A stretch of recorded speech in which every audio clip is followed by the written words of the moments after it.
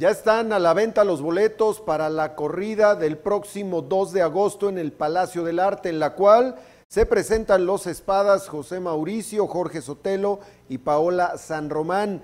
Precios desde 250 pesos y además la oportunidad de que los aficionados puedan acercarse y convivir con los toreros. Así nos lo presentó en entrevista Teodoro Gómez, director general de la Fundación Ángeles Taurinos.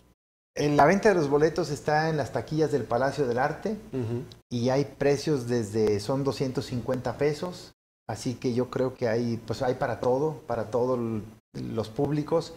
Y pues esperamos, esperamos que la plaza se llene, necesitamos ver esa plaza llena porque eso da un ambiente muy bonito, estamos preparando tanto antes del festejo como después del festejo poder tener un convivio con los aficionados, que puedan los toreros quedarse a convivir un poco con la gente que los fue a ver, que los admira, que se puedan tomar una foto y, poder convivir más, poder escuchar más al público. A mí me interesa mucho generar una convivencia previa y posterior al festejo.